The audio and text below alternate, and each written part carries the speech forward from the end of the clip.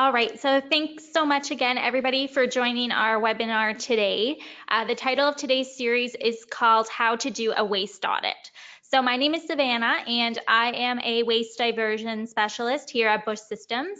So if you're not familiar with our company, we are a designer and manufacturer of recycling and waste containers, and we've been in the industry for over 30 years now. So my role here at Busch is to support our customers with their recycling efforts and to help them uh, maximize the amount of recyclables that they are generating in their space and also to help them improve their sustainability practices overall. So today I am joined by two guest speakers. Our first presenter is James Watson from Green Event Ninjas, uh, at Green Event Ninjas, he acts as the founding ninja and has a driving principle of sustainable event, events made easy. So Green Event Ninjas provides services that help different organizations, venues, uh, and other, other people in the event industry to green their operations. And our other guest speaker today is Shantanu Pai, who is the Assistant Sustainability Researcher at Illinois Sustainable Technology Center. So Shantanu manages several different waste reduction projects through their Zero Waste Illinois program. So some housekeeping items to get us started today. Everybody's microphones are muted to help keep the audio clean and clear. There is a question option available on the right-hand side toolbar and you can go ahead and ask your questions in this space and we will address all the questions at the end of today's session. There's also going to be a couple polls throughout the uh, presentation today, so be prepared to submit your answers for those polls. They just pop up on the screen and then uh, you can use your mouse to select a, a multiple choice option that way. And today's session is also being recorded, so after we finish up here today, you will receive an email with a link that will take you to that recording. So for today's agenda, we're going to cover three different elements to waste audits. So to start, I'm going to cover the basics, why your audit's important, touch on some of the different calculations and reporting, and then James is going to follow up with an explanation as to um, the nitty gritty of how you would actually execute a waste audit. And then Shantanu is going to continue the conversation with how to interpret the data that you're getting from your audit. So all the, con uh, the content that we share today is going to be tactical information that will let you uh, execute a really low cost but a meaningful waste audit. So we have also created a waste audit toolkit, which is available to everyone in attendance today complimentary through the handout section. So um, the toolkit has different checklists for materials that you would require in order to get your audit started. It has um, some different examples of spreadsheets that you can use to collect your data. And it also gives you step by step as to how to calculate um, those different metrics in your audit as well. So along the right hand side toolbar, you'll see a section called handouts, and then you can click there and the guide can be uh, downloaded as a PDF that way. So to start off, what is a waste audit? So a lot of us probably already know this. So just quickly, um, the definition is it's a, a, waste study of all the different materials that are generated within a space on a day-to-day -day basis basis. But the term audit, it can mean a lot of different things, kind of like the word waste or the word recycling. So audits give us a bunch of different, uh, different information on different levels. So depending on the scope of your project, an audit can look at only the amount of material that's generated. So we would know the weight of your waste stream, your recycling, and your organic streams that are generated within your space.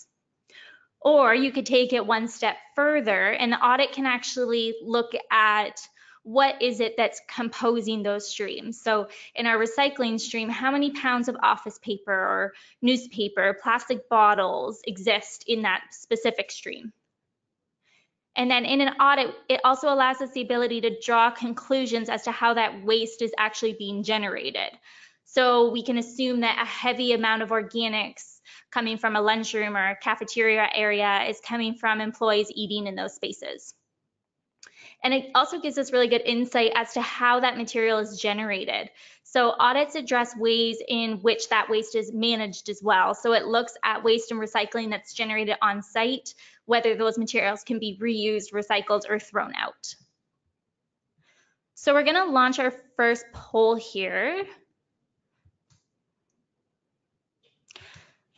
So the question is, have you done a waste audit before, yes or no? Um, this is just going to give us an idea of who our audience is today and the level of detail that we're going to get into. so you can go ahead and put in your answers there. So there are a couple different types of waste audits that you can do in order to capture these different levels of detail. So audits definitely vary by size and complexity. Um, but a lot of the same concepts can be applied regardless of the size of the audit that you're completing. So you can do a really high level study of your streams and you can look into um, the containers and just take note of how full these containers are and what some of the common contaminants are in those spaces. And if you come up with a schedule that represents your facility, this can be a really good way to get a good understanding of your waste. Um, or you can do a waste audit in a lot more detail, which is what we're going to focus more so on today. So this provides you with really good baseline data and quantitative metrics. All right, so I'm closing the poll here. So we're almost 50-50, 54% yes said yes, and 47% said no. So um, a pretty equal balance of people here today. So the benefits of waste auditing. Waste audits are really valuable because they give you a really good insight and a solid representation of what it is that your streams consist of. So it shows you how well your organization is actually performing.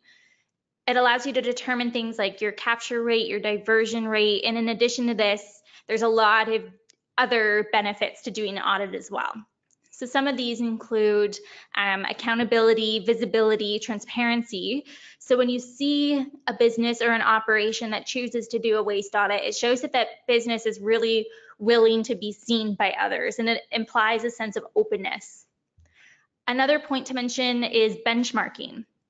So the audit actually creates a standard in which other data can be compared. So it gives you the ability to set and monitor your goals gives you the option of identifying common contaminants that earn um, a, a really stronger understanding of the acceptance criteria and uncovers areas that you can really improve on these kind of hard to recycle items. Other benefits include ability to manage haulers and renegotiate your contracts. So as you begin to learn more about what it is that's in your streams, you can uncover these opportunities to reduce the amount of pickups that you're getting from your hauler and also save money at the same time. Um, waste audits give you an opportunity to work with your suppliers and your vendors to uncover ways that we can reduce the amount of waste that we're producing. And another great thing is that when you have volunteers or employees in your space that are helping to participate in the audit, they're a lot more likely to buy into the program um, and really help the overall goals as a company to reduce waste.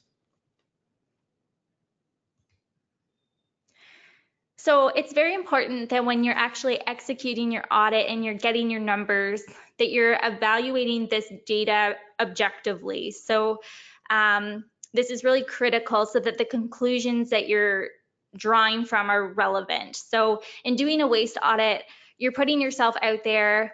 Um, and I think all of us here today have this same goal of being committed to make a difference. So if you're setting waste diversion goals within your organization, you need to have integrity. Otherwise, you're basically just participating in greenwashing. So it's the people who are actually performing the audits that have a really professional role in helping these businesses to understand the results that they're getting. So some of the fundamentals to keep in mind are honesty um, by prohibiting any communications that are misleading or biased uh, using an evidence-based approach, so using appropriate sampling methods, and also confidentiality. So any communication um, should be kept private and professional, and any information of reporting from the audit shouldn't be released without permission. So switching gears a little bit here, um, in the beginning planning stages of your audit, it's really important to think about how you want to divide up your space and measure the different areas separately. So for example, do you have an office area and a distribution area? Um, do you have academic buildings and residence halls? And it's in these beginning stages that you're going to set the scope for your project and determine the most important metrics that you're going to be measuring. So are you collecting overall weights of waste, recycling, and organics throughout your facility as a whole, or maybe you're sorting materials into different um, specific materials and then weighing those in particular. So, for example, coffee cups, um, water bottles, polystyrene. Uh, and this is really going to set the stage for the rest of your waste audit. So three popular calculations for waste audits are generation rate, diversion rate, cap capture rate, and contamination rate. I guess that's four. So let's walk through each one of these separately. So one way that we measure the effectiveness of our recovery programs is to look at the generation rate. So this is done by comparing one year over the next, and it gives you an overall quantity of waste that is produced. And it includes both items that will get recycled or composted and what is also being sent to the landfill. So by comparing this total weight over different years, you're able to see the impacts of any of your efforts um, in waste prevention. And it's also, it's important to note that uh, you wanna make sure that your time your time period is consistent when you're comparing year over year. So to accurately understand these trends, it's helpful to track the population of your staff or your students at each of these target locations year over year and use a per person calculation to account for the changes in population um, that are that are actually generating that waste material. And then there's diversion rate. So this one's the most popular one. So it's represented as a percentage uh, and it's the total waste materials that are generated that are diverted from the landfill. Um, some people refer to it as recovery rate as well. That's another common term for it. And it, uh, it's calculated by dividing the combined weight of all materials that are recycled, composted, reused, uh, or otherwise diverted by landfill and dividing this by the total weight of all the waste generated. And in Shantanu's presentation coming up, he's going to go through specific examples of uh, each of these as well. And then there's capture rate, which gives you a really good idea of how many recyclables and other recoverable material are, are in fact getting diverted. So it's calculated by dividing the weight of all potentially recoverable materials that are actually getting recycled or composted, and then dividing this by the total of these materials um, that are generated. So contamination rate's interesting. Uh, it only looks at what's placed in the recycling and the organics bin. So the way that you calculate it is by dividing the weight of trash or non-recyclable items um, that are actually placed in recycling and organics, and then dividing this by the total amount of all material placed in those same recycling and organics bins. So one of the main reasons that we study contamination is because it uncovers key materials that are issues. So contamination rate gives you a really good idea of kind of your broad performance, but it doesn't really give you any insight as to the specifics as to what are those items that are causing the confusion. So from your audit, you might learn that you have a contamination rate that's, um, let's say 25%. But what actually makes up that 25%. So in doing your audit, you might find out that it's coffee cups. And then you can tailor your education tactics um, to this material in particular. So there's really two types of information that you can gather here. Um, you can determine the items that are not recyclable that end up in your recycle bin, or you can determine the items that are recyclable except something's happened to these items that makes them not actually recyclable. So um, an example that we like to use is having a hamburger and throwing it into a recycle bin and then ketchup gets on office paper that's in that container. And then that ketchup makes that paper no longer recyclable, even though the paper is in the correct bin. So during your audit, you might want to separate these two items um, in that respect. So these three different metrics um, reveal distinct things about your waste stream. So the diversion rate gives you an understanding of how much of all the waste that's generated is actually being kept from the landfill. But the diversion rate is not a perfect way to measure the success of your overall program, but it is the most common uh, metric that we see in the recycling industry. And then the capture rate is uh, a really effective performance indicator, but it gives you no idea as to how much of the recyclables or recoverable material are in fact getting diverted.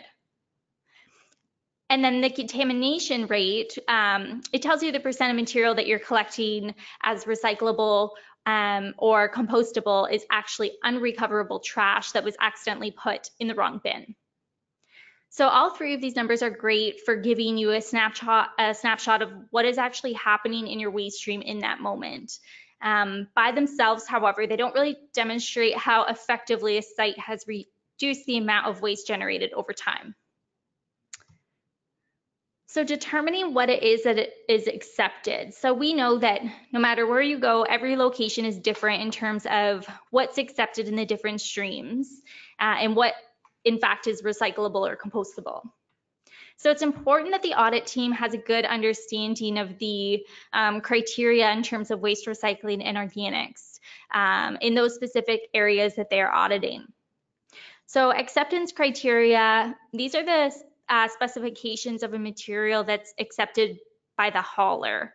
So uh, it, this can also include contamination thresholds as well. So it's very important information to become familiar with when sorting through your different streams. And it's important that the team knows what material is properly sorted. So some different examples of acceptance criteria um, are listed here. So corrugated cardboard must be flattened. This could be specified by a hauler um, contamination rates of 10 to 15%, compostable liners being required for organics or clear bag policies um, required for recycling streams. So within the past few years, um, here at Busch, we really have expanded our services to help our clients in doing waste audits. So we all know that sorting through garbage is definitely not the most glamorous of jobs, but uh, it's really great when we can actually sell our containers and see these containers in action and being able to work and help our customers with their sustainability efforts and capture as much uh, recoverable material as possible.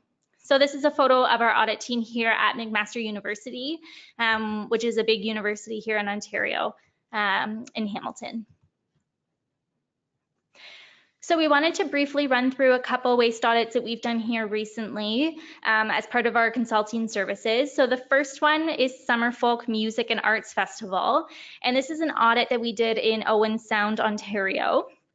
Uh, it was held over a weekend last August. There was about uh, over 12,000 people um, that attended this festival over the weekend and we partnered with them to find out how much organic material they were diverting from the landfill. So this was the first year that they actually had been collecting organics.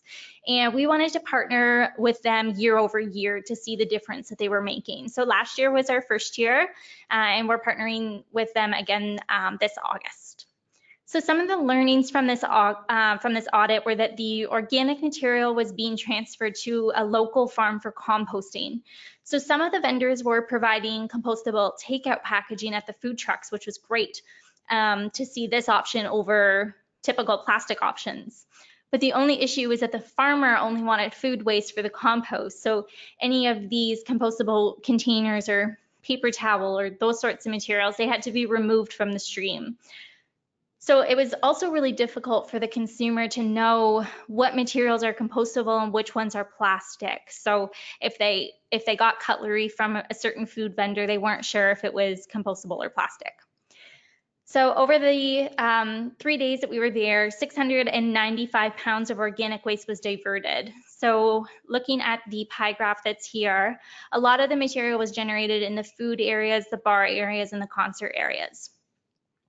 And it's um, there was also an additional uh, 307 pounds of organics that was collected. However, the material wasn't labeled properly, so we weren't too sure where the material came from.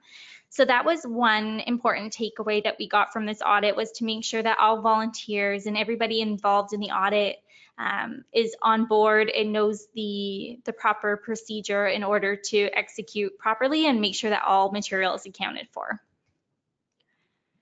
And then we also partnered with McMaster University and audited one of their residence halls. So again, this was a similar scenario where they had recently started to uh, collect organics uh, in some of the common areas of their residence halls. So the rooms were set up to have uh, two different students per room. And then there was communal washrooms, kitchens, study areas, And then we analyzed another residence hall that was almost identical, but the only difference was this res hall had no organic material. So the hall that did have organic collection, the diversion rate was 39% higher than the other one. So big difference we saw in that one.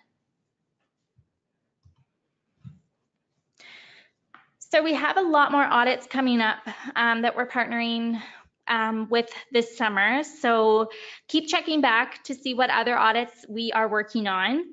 Uh, all of the audits and case studies that we do are uh, available for download on our resource center. So some of the other audits that we've done um, include Unity College in Maine, uh, University of Vancouver, University of Manitoba. Uh, we did a study with Keep America Beautiful, uh, Oregon State University. So all these can be found when you go to our website under resources, and then there's a case study tab, and it will link you um, to all those different studies. So I just wanted to touch on our resource center. So if you're unfamiliar with the resource center, this was a software platform that we developed a few years ago, and it really has become a recycling hub. So we use the resource center in all of our audits that we conduct. Uh, it's a great tool to be able to quantify all the data that you're collecting when you're doing your waste audit. So once you collect all your numbers, you can actually input this data into the resource center and it generates all the different graphs and charts for you. So you don't need to spend all your time entering data into Excel and creating these charts. The Resource Center does all this for you. So there's a couple graphs here on the uh, right-hand side that give you an idea of what it looks like. Um, when you're setting up your program on the Resource Center, you can set up the different areas of your business. So here at Busch, we have our office area and our warehouse area. And then we can look at these um, statistics for these two areas and compare the data between the two. So it's really great um, when you need to improve and focus uh, your efforts on these different areas. It shows you which ones can be improved upon. And when you first log into the Resource Center, it takes you through a tutorial so you can become familiar with how it works. And we've also set up a tutorial on our YouTube channel, which you can view. Um, and then obviously I'm, I'm here anytime to answer any questions in regards to that. So when you finally finish your audit sampling, you might be thinking that all the hard work is over, but oftentimes that's not the case. Um, depending on the type of audit that you're doing and the level of detail that you want to achieve, you might want to be doing an audit report. So this is something we do here at Busch for all of our audits. Um, the report writings are really detailed. They outline the procedure that you follow. It contains the actual quantitative findings from the audit, relevant graphs, charts, that help to communicate this information. It's also important to include your sampling methods, um, dates, photos, um, and it highlights any of the findings from your audits. It's important to include in these reports any limitations that you've experienced in your sampling and also to include the actual data recording sheet. Uh, and this can be done at the end in the appendix. So just to wrap up my section of today's presentation, as I mentioned earlier, um, we do provide these consulting services here at Busch into uh, as well as the containers that we sell as well. So not only are we providing containers, but we're also able to help our customers to make these containers really function. So some of the, uh, the services that we provide um, are waste audits, recovery program assessments, assessments of bin and collection infrastructure, strategic planning, education and awareness campaigns, and zero waste planning. So uh, we are also honored to be partnering with Green Event Ninjas as well to help us execute these bigger waste audits. So James, I'm gonna pass it off to you and you can take it from here.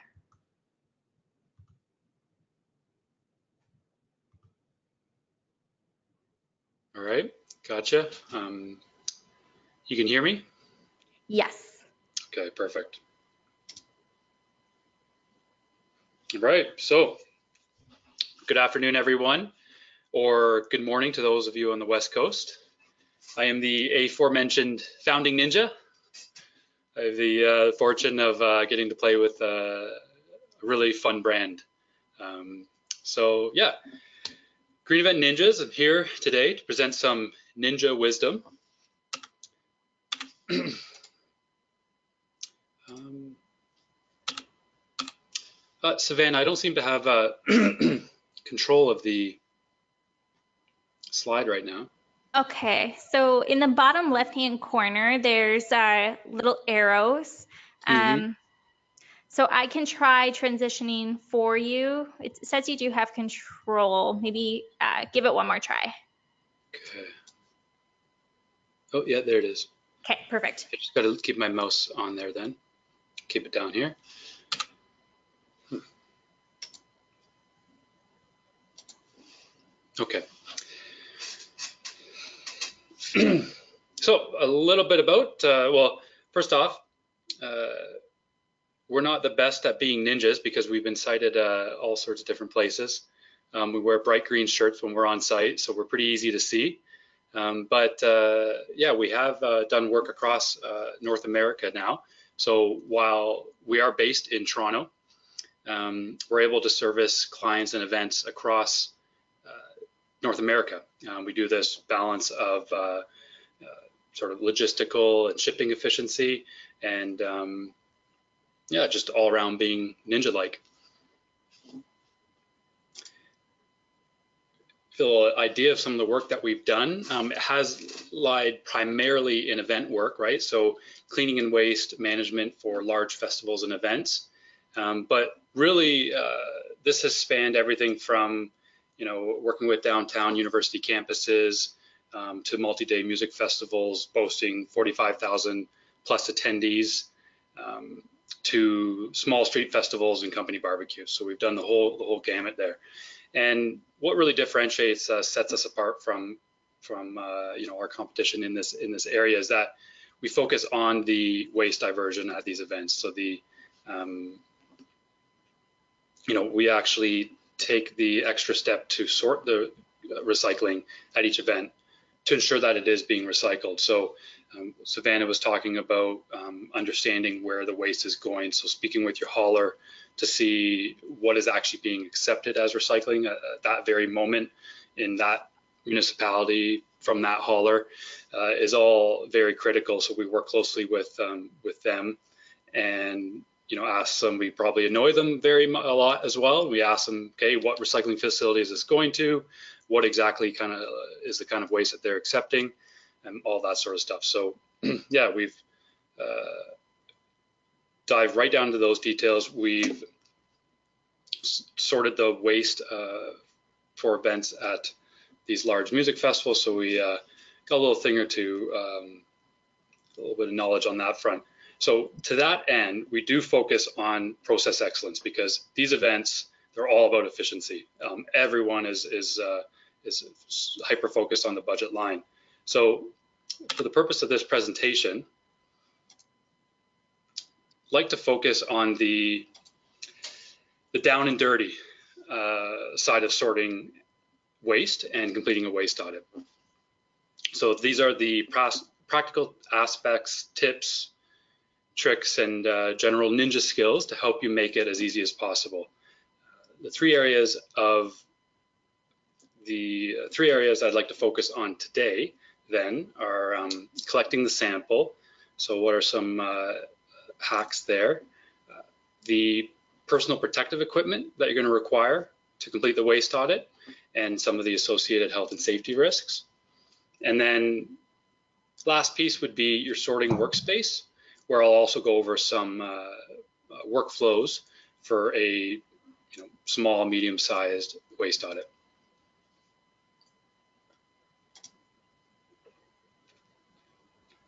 So to begin with, um, bright stickers.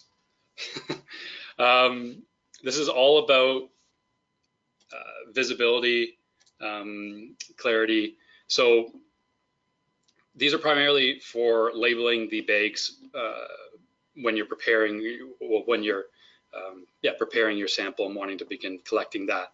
So bright because I'll give you an example of what this looks like it's just really small pile of garbage. Um, believe me, uh, there are uh, much larger piles than this that you will encounter. And um, you can see here, you can't count on the, uh, the color of the bags because, for instance, your custodial staff may use one type of bag when they're doing their rounds uh, and, and, swapping out garbages and recycling.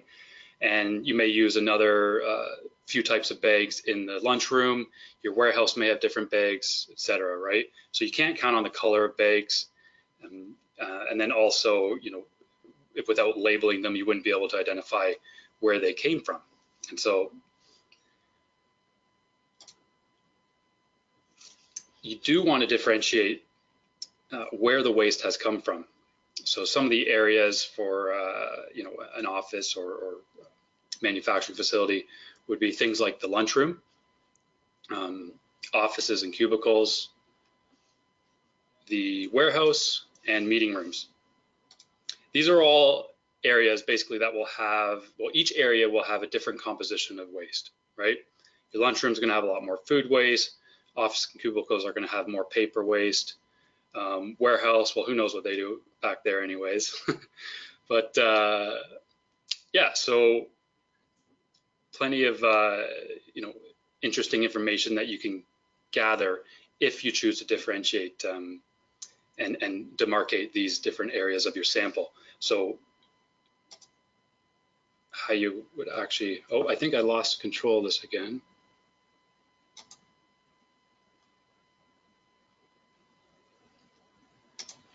Um, Savannah, can, can you stop moving your mouse? Sorry about that, James. I, I think you have control now. See if it. Yeah, yeah. Okay, yeah, perfect. I think we were we were kind of competing for the the cursor there. okay. um, okay. So yeah, to label your bins, uh, it can be as simple as, as this. So, you know, if you're doing a relatively small audit, maybe over the, the course of a day, uh, you can go in, or, or you know, you're kind of doing a one-time audit, you can just go in and uh, throw some labels in. Like this is this is a bin. I don't have the photo of the whole bin here, but just attach a little label, lunchroom, um, good to go, right? Color coded could be the the code of the um, uh, the waste stream. So in this case, yellow could be recycling. Um, just as simple as that. Other things that you might face are if you're working with your uh, custodial staff, maybe you're doing a larger sample over the course of a week, so you could give them labels and uh, have them uh, attach a label every time they pull a bag from from somewhere. Um, or another example might be from in the lunchroom, perhaps your staff changes bags when the compost bin gets too big or this and that.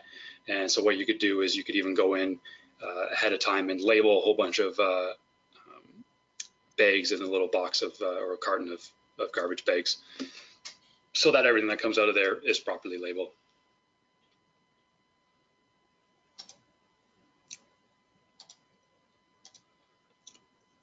Last piece I wanted to touch on uh, regarding this collecting your sample is regarding coordination. So some of the logistics behind this. Um, so these are just some things that we've learned over the years. Happy to share the who's collecting the waste. So it's best to actually speak directly with your custodial staff. We find that often uh, the instructions are um, miscommunicated or, or, lost in translation, literally and figuratively, um, from management, you know, from their managers. So uh, chances are you, you, may already have some rapport with them or somebody in the office does. Just uh, if you ask them kindly, I'm sure they'll be more than happy to, to help you uh, make sure that your waste is separated correctly. Um, the uh, second piece is that you will need a dedicated location for uh, your bags prior to completing the audit and then also where you will be able to complete the audit. So large space, good ventilation. Um, indoor is ideal if you have uh, space in a garage or a warehouse. But if you must go outside, you could always uh, rent a large 40 yard dumpster, uh, roll off dumpster, for instance, um, and then uh, store your waste in there until you uh, are able to complete the audit. Now, one thing to keep in mind if you're going outside just ensure that it's not being uh, rained on. So check the weather, or make sure it's put under a shelter, even um, done uh, before pop-up 10 by 2010, uh, just put over the dumpster. Final piece here uh, is do not throw away bags. So this is actually just signs for dumpsters and compactors. We do this a lot at events because they're just by their very nature completely hectic in the back of house. So we get vendors, everyone throwing, you know, garbage in the recycling and recycling in the garbage and uh, all over the place. So we use, we just actually uh, get magnet, um, you know, the magnet signage, the same kind that your handyman might put on the side of his pickup truck. Uh, we just get those. They stick uh, perfectly to the uh, metal bins, and it just reminds people do not throw the bags here or whatever. Um, so that's just contingency, contingency, contingency, because all best laid plans are, are, are you know, there's always going to be some uh, some hole in them. Somebody who didn't get the memo. Okay. Next piece, next area presentation I'd like to focus on is regarding personal protective equipment. So now um, this is just, uh, I'm gonna go over some of the health and safety risks that, we, that you're facing when you're doing a waste audit, and then also uh, some of the equipment that you will need to have. So take a look at this photo. You can see that it's pretty difficult to see the broken glass there, right? Um, now imagine this in a bag full of garbage, uh, hidden underneath another piece or mixed in with, uh, with, with some waste. You go in there with an unprotected uh, hand, you're apt to get cut. Your first line of defense for that are cut, cut resistant gloves, right? So these are, these can actually be found at regular retail stores like Home Depot. Um, and there's varying degrees of protection on them. Your, you know, if you're doing a, a small office office audit, you're probably not going to require very crazy protection, so you could get away with minimal uh, cut resistance uh, levels. But if you're in a slightly higher risk setting, uh, manufacturing or scrap metal, wood splinters, you could um, uh, go for something uh, stronger. Um, also important note that you'll be able to find gloves with protection on the palm only and also on the uh, whole hand. So protecting the back of your hand as well. A step up from that are actually puncture resistant gloves, right? So this is uh, especially important for uh, people that are, or, or, for companies, organizations that are completing audits that have um, audits of bins that might be accessible to the general public. Um, you know, they're outdoor bins at street level. You know, so this is for uh, storefronts, lobbies, all that uh, fun stuff. So yeah, really hypodermic needles are the biggest um, threat here because they carry all sorts of uh, associated risks with that, but also um, punctures in terms of, you know, a big one is actually thorns. So if you're in a greenhouse setting, uh, thorns from plants can uh, can puncture through most gloves, be very painful. Uh, fine metal shavings in, in a manufacturing setting, uh, etc. So again, uh, there's varying degrees of puncture resistance. Um, can't really buy these at retail stores, so got to go commercial supplier for that, and looking about 30 to 50 dollars a pair. So hold on to those gloves.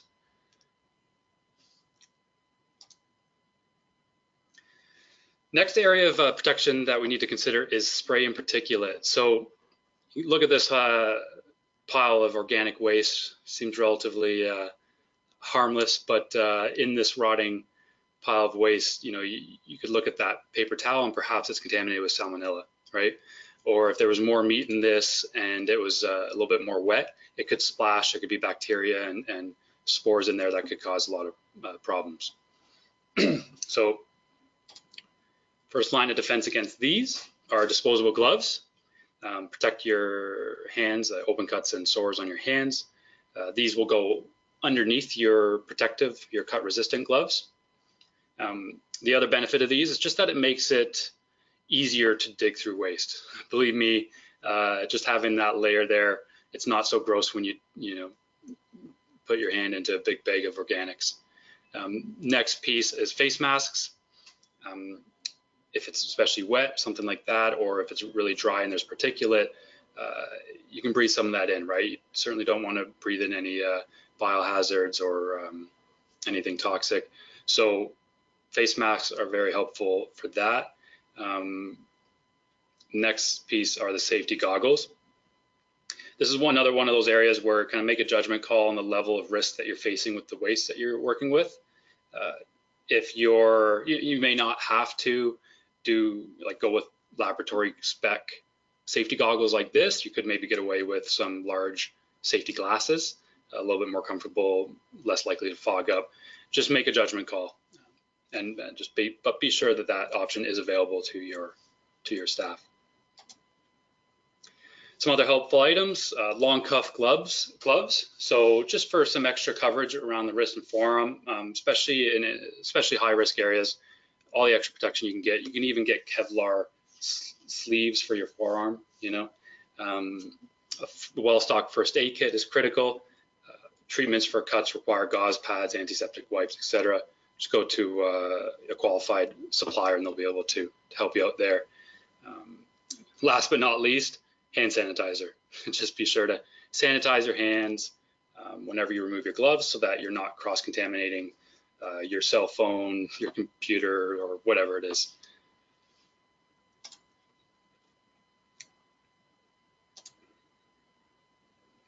Okay, so that actually covered the personal protective equipment.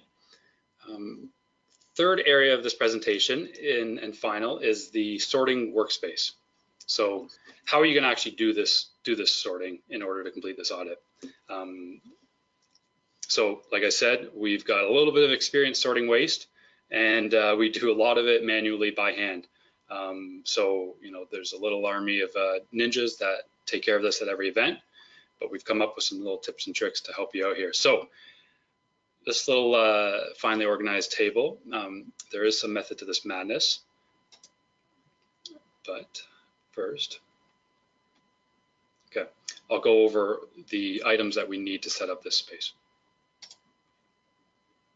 So tools of the trade, we need a table. Um, for a relatively small, moderate sized waste audit, you can get away with a regular six foot plastic folding table that you can get at Walmart, uh, Home Depot, anywhere, right? Um, these are, are really great for an ergonomic perspective as well. And I'll get on, I'll touch on that in a later slide. Bins, you'll need bins, large bins with large openings because you don't want to be fighting to get stuff in tiny little holes. Uh, so we use the wireframe bins from Busch, um, but you can use any any form of uh, container that you have that's large enough um, you can fit some bags into. Uh, finally, you do need bags, and um, we like to use larger bags, larger bins, so that reduces the amount of time spent swapping uh, swapping bags. And then we also prefer to use clear bags uh, that we're putting our waste into so that we can always see each bag's contents. And, uh, you know, in, in, that case, you just have to be labeling the, the bags as well, what materials and what um, as you go along. And then there will be no confusion there. Uh, some other useful tools, utility knife, uh, cutting into extra strong garbage bags. Some, you know, contractor industrial grade bags are really tough. Um, breaking down cardboard boxes, etc. Um, weigh scale. So depending on the size of the event, you can use different uh, methods. Again, small audit, you can get away probably just a regular floor scale. Um, use your, your person plus the bag to kind of get a sense of what the weight is. Um, fish or wildlife weigh scales can be used for moderately larger uh, audits, just ensuring that rather than trying to hold out the, the scale um, in your arms to fix it to something where you can just hang it and then attach a bag to the hook so that you're not uh, straining your back or anything. And finally, for really large audits, you know, we utilize floor scales and uh, carts and everything like that. Finally, notebook and laptop. Uh, just to reinforce that you got to document and record every data point as you go. Um, you don't want to get halfway through something and you know you weren't really your, your notes are a mess. You can't make sense of the, the notes on your page or whatever. Just make sure you're really well organized in that. If you're doing this by yourself or limited on staff, there are actually some cut resistant gloves that are touch compatible with touch screens. You use a tablet or something. Um, or if you're uh, you know, if you have enough, just assign somebody to um, do note taking. So I'm going to go over particulars of the actual setup now and two possible workflows for a single table uh, for optimizing your sorting. So this is a one table setup. So in the first uh, workflow, we have two sorters separating three materials, right? So they're each separating the same three materials on each side. So for instance, it might be in A, you got your card, corrugated cardboard, B, you got your box board, C, you got your paper, right? And so you're going to open up a bag of commingled recycling, and there's going to be more types of waste in there, but you can only focus on those three um, materials at a time, right? So you just pull it out, put in those bags, and then put the bag aside for the next uh, for the next phase. This one's relatively like this is this is uh, easy um, because you're you're taking care of certain streams at a time. You work your way through your your pile of garbage. Um, another way uh, to realize a bit more efficiency is to do a little combination. So you can actually um, work together as a pair uh, when you're standing at one of these tables and sort six materials at a time. So the first person, as this diagram demonstrates, would be sorting those original uh, three waste streams, the cardboard, boxboard, and paper. And then as he, once he finishes that bag, he passes over to his partner and they're taking out the PT plastic, aluminum cans, and and food waste. So this is just a little bit more efficient, allow you to get through more waste streams. So this is especially useful if you're doing like a very deep uh, waste audit where you're, you're sorting it out to 20, 30 different waste or uh, materials. So last piece I'm going to touch on, just regarding ergonomics. So, you know, this can be tiring work. Um, we often do it in the 40 degree weather outside in the uh, middle of summer, but um, hopefully you guys are doing it in, in better settings. Um, but yeah, just like to reinforce, do the sorting at a table. It really saves your back versus doing it on the ground. A lot of people are tempted to throw everything on the ground, rip it all open and, and go at it. But if you're doing that for any length of time, you're going to destroy your back and you're not going to be able to keep that up. So the table really helps to keep it at that uh, uh, at that level um, well placed and sized bins. So heavier cumbersome materials on the side bin there, right? So that it's easier, you don't have to reach as far to throw those in. And then in the back, you can have uh, the items that are a little bit easier to toss in there, like the bottles and cans and, and items like that. So just always keeping in mind, if you were going to be doing this for eight hours straight, how would you be positioning those bins and setting up that workflow? Comfortable shoes. so uh, definitely closed-toed, and you know you may or may not need to wear steel-toed boots uh, depending on the the workplace. Um, but uh, just you, you make that judgment call. But just make sure you're comfortable because you're going to be on your feet um, for really long. Uh, you could also like long audits. You can consider a rubber mat, ergonomic rubber mat in front of the table as well. And final piece, just uh, we've all heard this a million times. Lift with your knees. Um, and when you're carrying waste, keep it close to your body just to reduce strain. Uh, waste auditing, waste sorting is just, there's a lot of pulling and lifting tasks associated with this kind of stuff. So just do yourself a favor, start by uh, using appropriate form and you'll be able to last the, uh, the day and, and get through everything. So thank you for allowing me to uh, impart a little bit of ninja wisdom today. Awesome. Thanks, James. I'm going to change the presenter to Sean Shantanu. So you should have uh, mouse control now, Shantanu, so you can take it away. And just make sure to unmute your mic. That's the other thing too.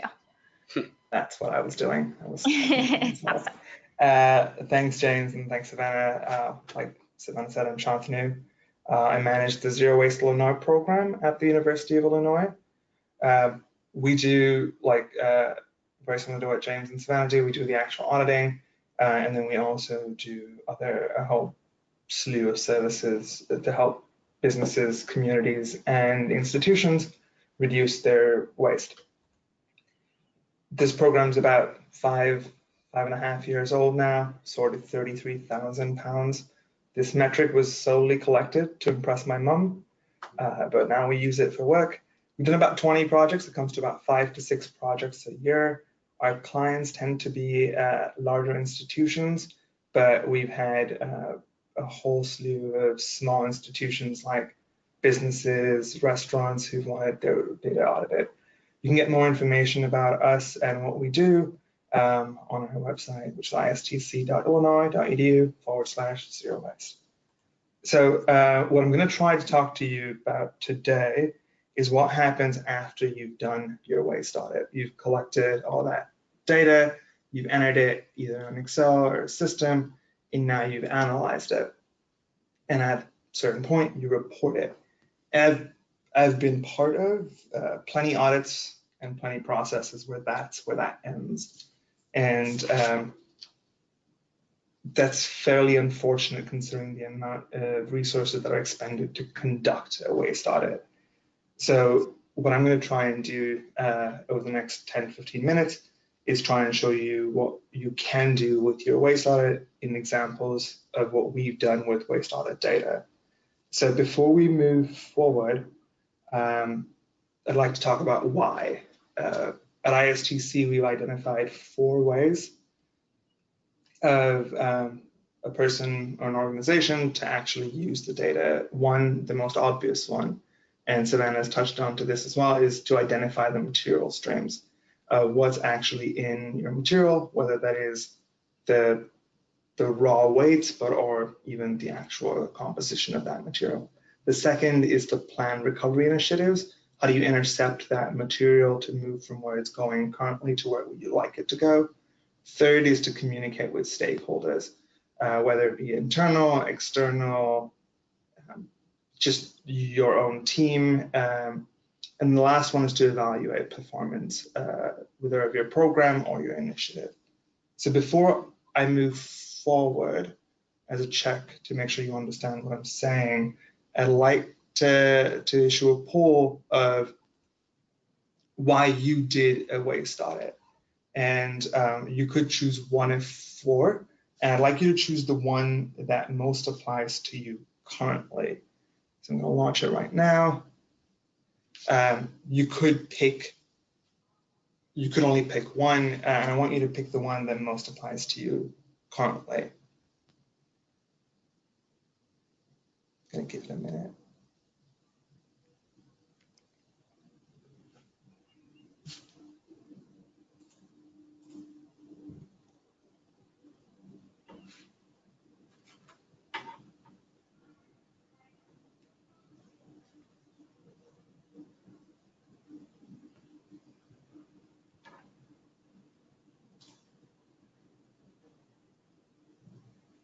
Uh, so someone just uh, sent a question about they're having a difficulty hearing me. Can someone respond to that question by saying if it's still a problem or not? Can Yeah. people hear me okay? I'll take that on, Shantanu. Um, Perfect. Okay. Is, my apologies if you lose the ability transition uh, to transition the slides um, as I No, use my. fine. Yeah, I'm gonna give them like 15 seconds. Okay. I would play elevator music, but I don't know how to do that. So I think I'm gonna close the poll, and as it looks right now, most of the respondents uh, would like to uh, identify material streams, which is about 35%. 28 want to plan recovery initiatives. Eight communicate with stakeholders, and 29 evaluate program success. And that that's interesting because I was expecting a lot of people to just say uh, identify material streams, but it's glad that I'm glad that there's a little bit of diversity in the in the reasons. So uh, what I'm going to do in the next few slides is go over a, a mock data set. We had done this presentation as a live workshop where we created a data set of waste audits, different kinds of waste audits, like what Savannah said, raw data, actual waste characterization, costs, and then uh, work with a group to plan recovery initiatives, identify uh, communication strategies, and then see how we would evaluate programs. So I'm going to go uh, through a couple of slides that identify that data set. So again, it's a made up campus. It has nine buildings. Um, I was trying to get cute and called it from Buzzword, Illinois, but you can put this anywhere and it's it's just data. So the most common way of seeing waste data uh, after waste characterization is a pie chart. Uh, it's the most common way you can slice it, dice it, but eventually people show you uh, a pie chart. And that's a great way to start off to explain, but it's really hard uh, to understand what's actually happening. So what we do at ISTC is we group them together in uh, workable uh, groups. And these groups are specific to your local space, your geography and time. So what is recoverable in Chicago today looks different, like Scott and Savannah were saying, to what could be recyclable or recoverable in Chicago tomorrow. Uh, but what this gives me, uh, my clients and my team, the ability to focus in on strategies after the material stream. Uh, within each of these groups, so what is recoverable in the waste stream, we can then go on and do further analysis, but just as a starting point, it makes it easier for us to identify the material stream. Uh, moving forward though, let's say like Savannah and, and James were saying, you were able to break down your organization into smaller groups. Um, like they were saying, offices, warehouses, uh, labs, however you want to organize your organization uh, by functional groups, because what we've learned is functional groups perform differently because of their function, thereby being functional groups, but also have different needs and solutions. For the sake of this, this presentation, I've just broken them down into nine buildings. So I took the material stream, put them together, and uh, organize them into our groups, right? So the avoidable, compostable, recoverable, non-recoverable. Uh, somebody just asked what I consider as avoidable. Uh, this is again organizational specific. So let's say you're a cafeteria and one of the avoidable wastes is paper cups. You can have a to-go cup uh, program that give a discount. That's waste that we can we can reduce the generation. So that's what we consider avoidable. Uh, in manufacturing, uh, avoidable work, uh, avoidable waste would be stuff that has to get reworked and how you can move that around. Uh, again, these categories are unit specific and then more for you. So if there's something in your material stream or the way you generate that you think is avoidable, that you want to just identify separately, put that there. This is for you to plan with. But now you see nine buildings. And uh, right away, you're able to identify that building one, two, four, five, and nine have a considerable portion of single stream recoverables in this example that's still in their landfill waste. So the solutions for those five buildings is considerably different from the ones for building three, six, and seven, where a lot of that material, a dominant portion of their waste stream is compostables. So I would like to move now the conversation from identifying material streams to planning recovery streams. So I've got this data, I've organized it in the way that I can communicate with stakeholders and my team, and I've noticed, hey, I need to focus on buildings three, six, and seven. Uh, so I take that and plan a, a, compostable program. So from that last slide, you realize that three, six, and seven have significant waste uh, that is compostable. So that would be my phase one for compostable locations. But having been on this campus and worked there, I know that building five is the custodian, is the food service organization. So you add that in there, even though the compostable materials were low. And this is uh, another thing that I'd like to bring to the attention is that sometimes your data isn't all encompassing. Uh, there's tactile knowledge of the organization. And like Savannah and Boat James were saying, uh, a key part for a good waste audit is knowing your local environment. So even if even if for some reason your data was was off a bit, you've got to be able to see that my food service organization has a significant portion of food waste, and I know that. Something went wrong with the, the, compost, the data collection or the sample collection, and we want to be able to, to identify that, which is why, again, documenting your process and taking pictures is useful. And then you can have a phase two with the, with the waste streams that have a, a lower percentage, but still significant for your operation. Uh, this lets you take waste data, again, from the identification part to a plan part, both for your organization, but also in most cases to be able to communicate the timeline. Uh, the other way, and this is for places that you, you just don't have the time or resources to do a waste audit. There's waste data that you get outside of the physical waste characterization that you can use to communicate with stakeholders. Let's say this is building eight. Um, uh, building A um, has a fairly significant recoverable portion. I want to know what's happening in building eight. So I work with the custodial staff and the hauler to get totals of how much is getting recycled and landfilled by floor. Doesn't need me to sort the waste. It just is every week they weigh what's going into recycling, weigh what's going into landfill. And I can normalize that by per employee so I know pounds per employee per week. And I can create diversion rates for each floor. This lets me compare within each floor, and that could be a good planning exercise. But what I've used this in the past for is uh, a green office challenge, some kind of way to get uh, these floors to compete or participate in a program where they can improve their recycling rates. And if you want to go a step further, you're looking at building four and you're saying, okay, they have the highest percentage of landfill material. What is going on in build in level in floor four in building eight? So you you now have a way to really hone in from a large buildings level data set to an actual floor.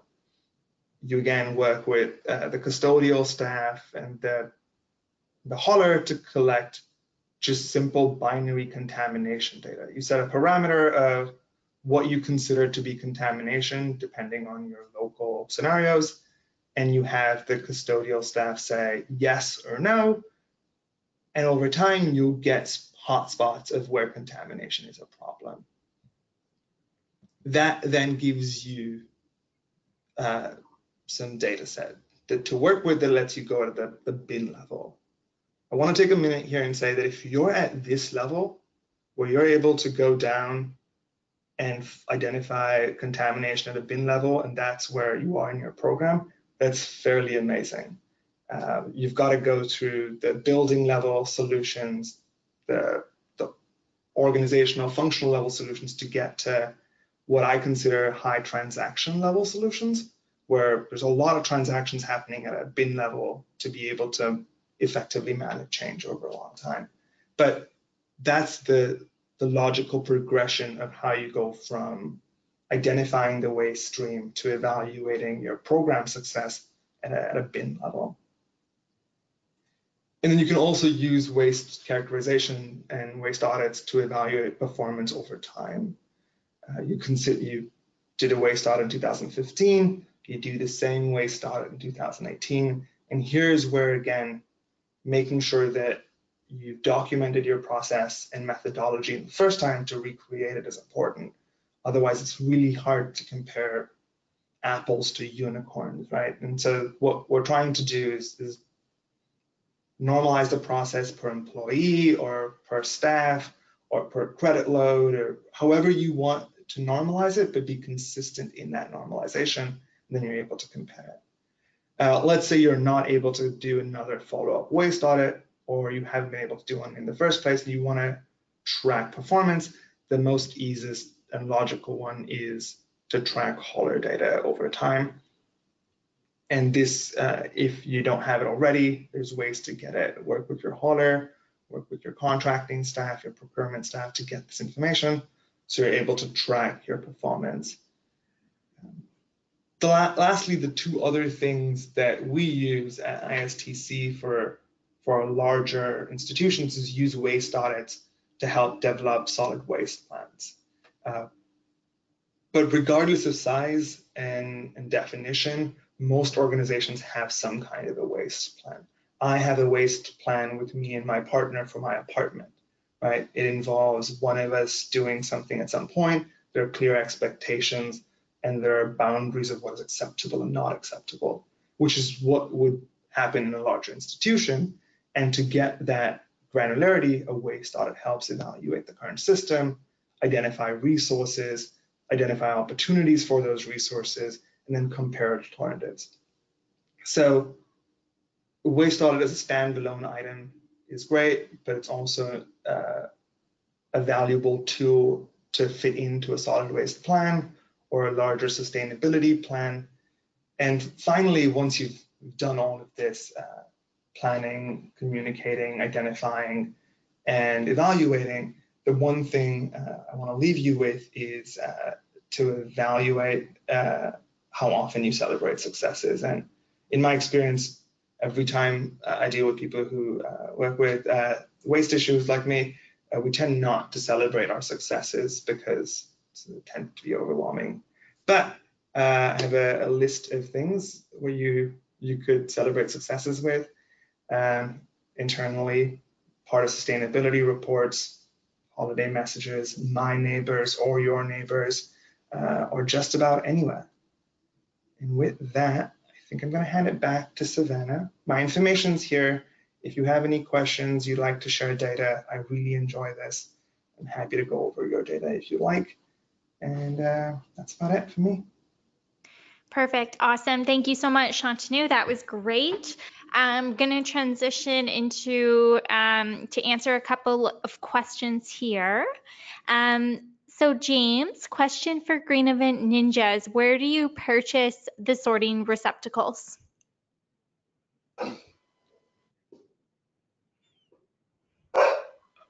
I'm sorry, I just, uh, terrible timing, my, one second. no problem. My, my dog's just, uh, okay, um, the sorting receptacles. So yeah, the wireframe bins that we use, uh, we actually purchase from Busch Systems. Um, so they're the wireframe event bins that they sell, and really like them because they're about the same size as the Waste Watcher XL um, in terms of like the strict dimensions, but because they're wireframe, one side of them is open, you're able to fit uh, significantly larger bags. So when I do the sorting, I use 35 by 50 inch um, bags in there so allows you to fit a lot of uh, a lot of waste in and uh, yeah, not have a problem pulling it out of the bags. You just pull it out of the side. Perfect.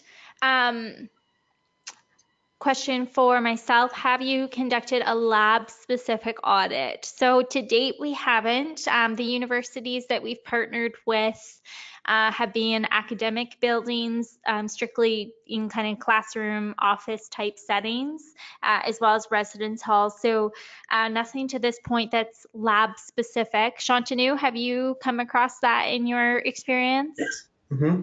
And um, we have a, a, a very robust safety protocol that I'm happy to share with whoever wants it for labs.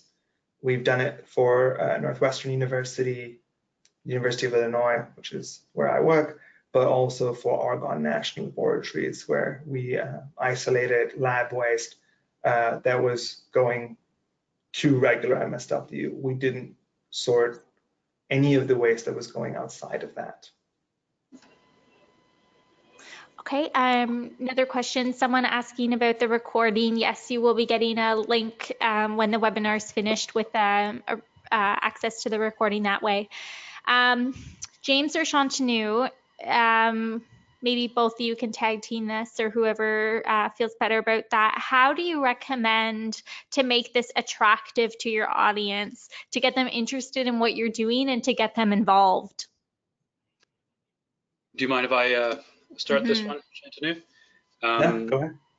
Yeah, I mean, I I think uh, the way that the we live Green Event Ninjas is just like to lead with the the positive message, right, and the fun and creativity of all this. So, you know, sustainability is a topic uh, that can be taken a little too serious at times, right? I mean, and unfortunately, a lot of the uh, campaigns geared towards general public are, are, geared towards, you know, shaming and guilting people into recycling and doing their doing their best. Uh, we take a different approach, right? It's all about the positive uh, side of it, celebrating that, um, you know, making it fun. Uh, so yeah, don't focus on those shame messages um, and guilting people into it. Uh, create a uh, positive, fun environment, and people will will join in. Yeah, uh, I'd like to add. Oh, go mm -hmm. ahead. You can go ahead, Shantanu. Uh, I think the two things that, um, again, my clientele is mainly in the organiz the operation side. Uh, and for them, the way I use uh, to make it attractive uh, is is charts and graphs. Um, I take a lot of time making my charts and graphs look interesting, uh, easy to understand. I don't have to show them the statistical analysis. I just expect them to trust me with it, but I have it ready uh, always, and I try to to use data as a narrative tool. Um, that's that's I think my key uh, message to anyone who wants to make this intro to to make it interesting or attractive is use your data as a narrative tool uh, to tell try to tell a story through it. Perfect. Um, Shantanu, I have another question for you, follow up to the lab question. How do you account for the ever changing processes happening in these spaces since they generate different waste in different amounts on the daily? Uh, we have a, re uh, a, relatively larger sample size. Uh, so we take many samples. Uh, the num the N for a lab waste tends to be higher to account for both just the sporadic nature when lab waste is generated, uh, but also like I think the question is rightfully asked is what you do today doesn't look like what you do tomorrow, but what you do in a chemistry two lab looks very similar to what you do in a chemistry two lab tomorrow or day after. But again, the, the way we address this is have a large sample size. So we would do a lot of samples to make sure we have some kind of certainty that our data is good. Okay, and um, James, what uh, do, do, do, what do you do about and with liquid waste? We get especially recyclables with liquid at our street festivals that mm -hmm. is a contaminant for our local MRF, so it needs to be removed. Yeah, so what you could do is if you wanted to uh, separate that waste, um, you know, so get a waterproof bin. Probably wouldn't be suitable to throw that into a, a bag, uh, but like a rubber-proof uh, or waterproof bin. Um, pour out each bottle before you throw it into there. Um, in terms of disposal, typically organ or, or uh, liquids are suitable to go in organics waste, right? Um, so just ensuring again that those receptacles or dumpsters for organics waste are waterproof. Um, but uh, yeah, that's how we would uh, uh, deal with those. So as we're sorting, like one thing that we always do is we always do separate the lids from bottles because they're often a different uh, grade of plastic, right? Separate the lids from each bottle, pour out the liquids into a bucket, um, and then uh, we can dispose of that in our organic stream. Mm -hmm. Perfect. Yeah, and that was one um, one area concern that we see a lot with our customers as well as liquids contaminating their recycling streams. So we created a container. Uh, it's one container, but it's three different streams, and we uh, titled it the coffee cup collector because the coffee cups a lot of times people throw them out, but there's still liquid in them, and then they don't separate the lid from the actual coffee cup. Um, so in the three streams, it's the signage on the container lays it out, but the first step is to dump the, the contents of the cup into the first stream, which is actually a small, um, it's almost like a pail canister that collects those liquids. And then the second stream is to dispose of the cup. And the third stream is to dispose of the lid. So um, that's something that we created that's kind of been uh, popular, especially when it comes to those coffee cups. Another thing that I would just add to that, because my answer was more on what do we do on the back end, but on the front end, another thing that you could do is, is have a, receptacles that, you know, if this is in more of a facility setting, you have your recycling bin for bottles, cans, drink containers, and then you have a separate one for paper, cardboard, that sort of stuff, because it's the paper and cardboard that's most liable to become contaminated with that liquid, right? So if you're able to sep- source, uh, source separate those, you're in the better for it. Perfect. Awesome. So that answers all the questions. So I just wanted to remind everyone um, about the waste audit toolkit that we created. Like I said earlier, that's available for free download under the handouts. Um, and any questions or comments, uh, feel free to reach out um, to us after the webinar today. Thanks so much for attending. We hope that everyone learned some valuable information. Uh, and thank you so much to James from Green Event Ninjas and Shantanu from Illinois Sustainable Technology Center uh, for taking the time today to share your expertise with our audience. Um, as I mentioned a couple times, the webinar was recorded, so you'll be getting an email. So please feel free to share that recording with whoever uh, you think would find that information valuable. We are hosting another webinar coming up in August, and we're going to be focusing on zero waste strategies. If that's something that you're interested in, um, please shoot us an email. We can definitely get you on the list for that one. Um, and I think that's it. So thank you so much again, everybody, and have a great day. Thanks.